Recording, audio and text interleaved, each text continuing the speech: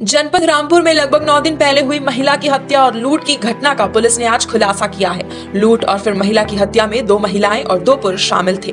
जिनको पुलिस ने गिरफ़्तार कर लिया है, उनके कब्जे से लूटे हुए पैसे भी बरामद हुए हैं। खास बात ये है, दो लुटेरी और कातिल हसीनाएँ भी इसमें गिरफ़्तार हुई है।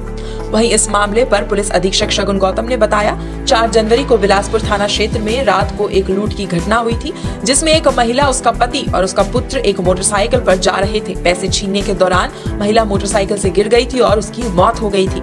इस मामले में चार अभियुक्तों को गिरफ़्तार किया गया है, जिसमें दो लड़के हैं, अक्षय और जॉन, और दो महिलाएँ हैं, शालू और मीनाक्षी। इन महिलाओं ने ये बताया कि इन पर बहुत सारा कर्जा हो गया था। इन लोगों ने दो ब्यूटी पार्लर खोले थे, उसका कर्जा चुका नहीं पा रही थी। महिलाओं ने बैंक से मुखबिरी की और युवकों ने घटना को अंजाम दिया।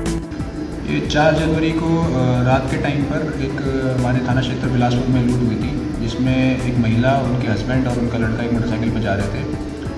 पैसे छीनने के दौरान महिला की मोटरसाइकिल मोटरसाइकिल से नीचे गिर गई थी, उन्हें चोट लगी थी, इसके बाद उनकी मृत्यु हो गई। इसमें हमने प्रॉपर धाराओं में मुकदमा दर्ज किया था बिलासपुर में। और आज सुबह हमने जो इसमें अभियुक्त उन्हें गिरफ़्तार कर लिया है, टोटल चार लोग अरेस्ट हुए हैं, जिसमें दो लड़के हैं, जॉन और अक्षय, और दो महिलाएँ हैं, श्रीमती शालू और मीनाक्षी।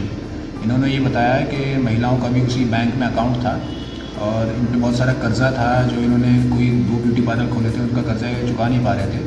इन्होंने एक प्लान बनाया कि उस बैंक से जो बाकी लोग लोन लेके पैसा लेने आएँगे उन्हें हम लूट लेंगे।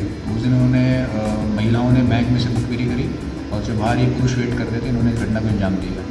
चारों को अरेस्ट कर लिया गया है और संबंधित न्यायालय में इनको पेश किया जा रहा है। आगे कार्रवाई कराई जाएगी इन दिनों जनपद में अपराधों की झड़ी सी लग गई है। अपराधी रोज किसी न किसी वारदात को अंजाम दे रहे हैं। ऐसे में ज़रूरत ये है कि लोग सावधान रहें और पुलिस को भी थोड़ी सख्ती बढ़ा देनी चाहिए।